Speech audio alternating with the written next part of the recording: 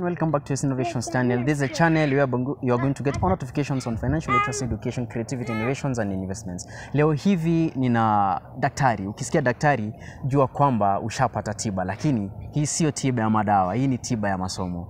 Eh, Daktari Hassan Omar kenywa ana gazeti ambalo ana launch Hili gazeti ni gazeti ambalo linahusisha dini zote, na sababu mwafaka ya kulaunch hili gazeti ni kuhakikisha eh, vita Kenya hamna, na tunataka tujue zaidi kutoka kwako kwa sababu yeye ndiye analifahamu zaidi. Kwa hivyo karibu sana daktari. Asante sana. E, tunashukuru sana kwa makaribisho yako mazuri Asante. na tungependa sana kujua kwa nini kakuja na gazeti mm. kwa sababu watu wengi sana wamezoea televisheni ama redio ndio inahamasisha watu inafikia watu kwa haraka hmm. kwa nini wewe kakuja na gazeti wewe Naam, kwanza shukran sana ndugu Yasin kwa kuweza kuja kuturekodi, na ningeomba sana watazamaji kutoka Kenya mzima, Afrika mzima na dunia mzima kuweza uh, kusubscribe kwa hii Yasin Innovations kwa sababu ni television ambayo kwamba imefikia wengi na imeleta amani katika nyanja nyingi, na tukiingia katika masala ya gazeti kama hili Naam. unaona linaitwa Interfaith News, yani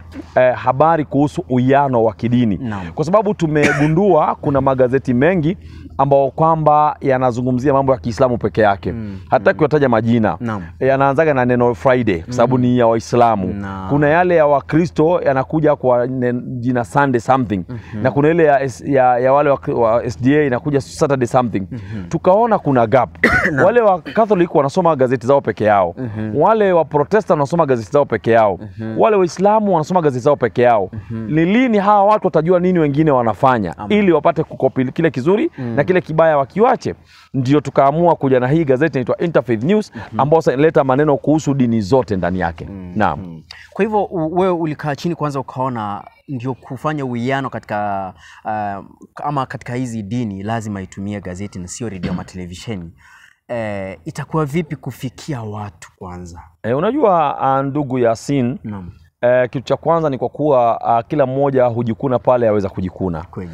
tuliangazia na hili limeletwa mm -hmm. ni wanafunzi wangu Mm uh, unajua mimi nashukuru Mwenyezi Mungu nasomesha katika chuo kikuu cha Nairobi mm -hmm. lakini vile vile kuna vyuo vingi ambao kama vimeona utaalamu wangu katika uwiano wa kidini mm -hmm. katika masala ya interfaith dialogue mm -hmm. nafikiri eh, mimi naongoza Kenya mzima katika uh, uchampion wa- na uweledi yeah. wa uwiano baina ya dini Hilo linafahamika. Eh, kwa sababu nimeandika vitabu nimesomesha university zaidi ya tano mm -hmm. na nina wanafunzi wengi mapadri wa ka- Katholiki, mapadri wa uh, Protestant, mm. mashekh na wasomesha almuradi mm -hmm. hawa wamekuwa wakintia motisha kila wakati no. wakiniambia, mwalimu, wewe no. ni mtu unajulikana dunia mzima mm -hmm. na wewe unajua wazi kwa kuwa hakupatikani gazeti ambalo kwamba lina uwiano wa kidini mm -hmm. tufanyeje? Ndio tukaita mkutano, ulikuwa na watu wa dini hamsini mm -hmm. na katika wale watu wa, dini hamsini no. tukakutana kumi na tano mm -hmm. na hawa kumi na tano tukaanza kuandika gazeti mm -hmm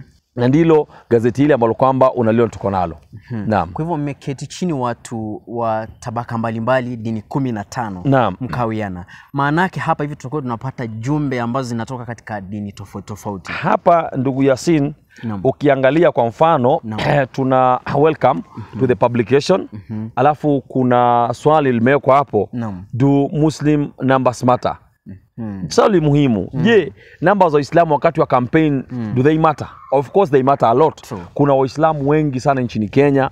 Wengine wakiwa ni wasomali wengine sio wasomali watu wa country kuna wale wa coast. Almuradi waislamu nchini kenya ni wengi sana. Kabisa. alafu ukiingia ndani no.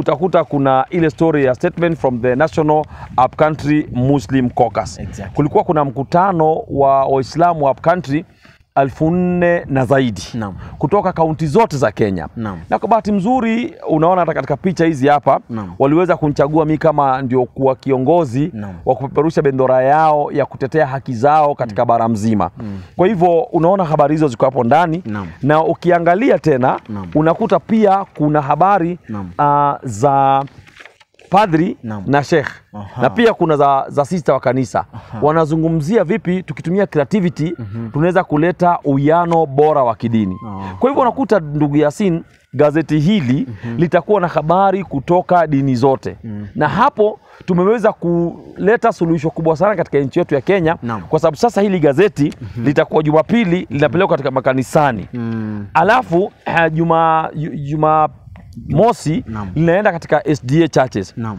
Juma Ijumaa linagawanywa katika misikiti. Aha. Siku za wiki mtu anatafutia pale anataka. Okay. Kwa hivyo unaona ni gazeti limeleta uwiano na undugu baina ya dini zote nchini Kenya. Aha. Naam. Na mtu kulipata vipi online, kwa sababu si kila mtu ambaye anaweza akalipata kwenye hard copy. Mm. Eh, kuna yule mtu labda yuko mbali, labda yuko Marekani na anataka kusoma Mm. anaweza akapata vipi? Wajua ndugu Yasin, kwa hakika, kwa bahati mzuri mimi nimetembea nchi thelathini na tatu duniani Mashallah. na nina marafiki hizo nchi zote. Naam. Sasa nikiingia tu Facebook yangu nikiandika kitu mm. wanapata reaction kutoka dunia mzima. Naam.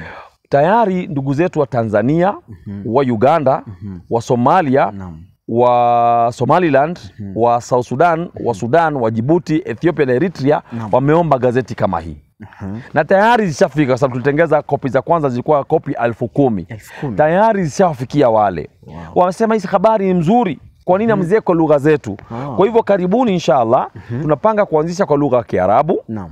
kwa lugha ya kifaransa Naam. kwa lugha ya kiswahili kwa sababu ya tanzania ndugu zetu wa tanzania Aha. na vile vile ndugu lugha ya kiamahari na ndugu zetu wa somali kadhaa wamesema watakia kwa somali pia lakini unajua tukia kiarabu wa somali pia wanapenda sana kiarabu kwa hivyo ni gazeti ambalo kama litakuwa kwa lugha zote Okay. na nafikiri ni katika gazeti, tof, gazeti chache sana ambazo zinatafsiriwa ambazo zitakuwa zimetafsiriwa katika Katika lugha tofauti katika lugha tofauti kabisa. Nadhani ya si nyingi duniani zimetafsiriwa lugha tano, ni kazi lakini hii mm. tumehakikishiwa ni walimu wa Kenya Institute of Foreign Languages and Professional Studies na vile vile wa International Journal of Languages and mm. Professional Studies, kwa kuwa tutapata hizo gazeti kwa lugha hizo. kwa sababu nao pale katika uh, Kenya Institute of Foreign Languages and uh, Professional Studies uh, wana masomo mengi sana. Kiitaliano kipo pale. Kijapanese kipo pale, eh, kuna Tamarin Chinese, Kuna Kiturki, eh, kuna Kiturki, Kijerumani, Kijerumani, Kijapani, Kijapani, Kiarabu, Kiarabu. Kia, Naam, kwa hivyo mm. pale watu watakuwa na uwezo wa kupata magazeti yakiwa yametafsiriwa katika lugha tofauti tofauti. watapata kwa lugha tofauti, Wow.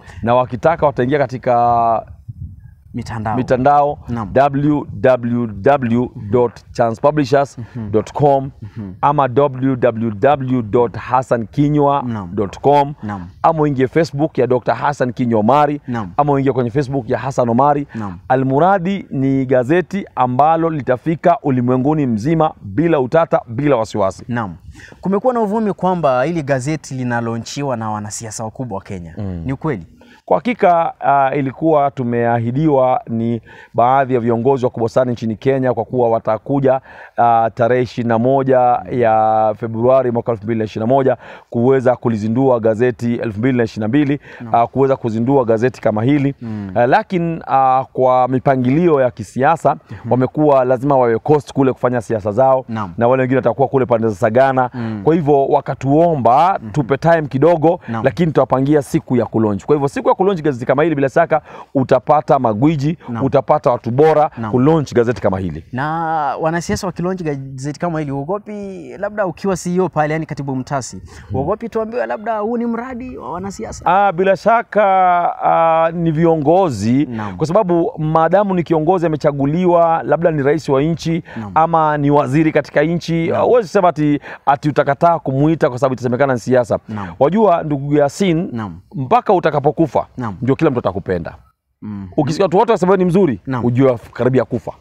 Tafakari. ni maiti tu, upendwa ni kila mtu. Ukiwa uko hai lazima upate maadui, lazima watu waseme. Watu watasema usiku watalala, watasema mchana Usiku usiku, watalala. Kwa hivyo masala ya kusemwa hilo alitushtui.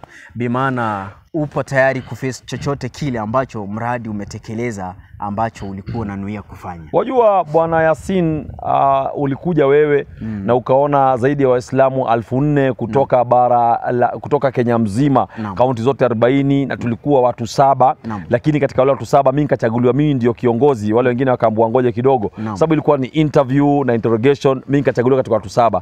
Kwa hivyo wale watu saba, kuna wale ambao kwamba mpaka leo wanadukuduku, kwa nini mm. achaguliwe huyu Na sio wao. na si wao Mm. na vile vile usisahau kuna baadhi ya Waislamu no. ambao wamekuwa wakionea Uislamu wa bara. Kwa hivyo saizi wananipiga mimi vita kwa sababu mimi ndio natetea Uislamu wa bara. Naam. Kwa hivyo kusemwa si matatizo, nimeamua kusemwa na niko sawa kusemwa.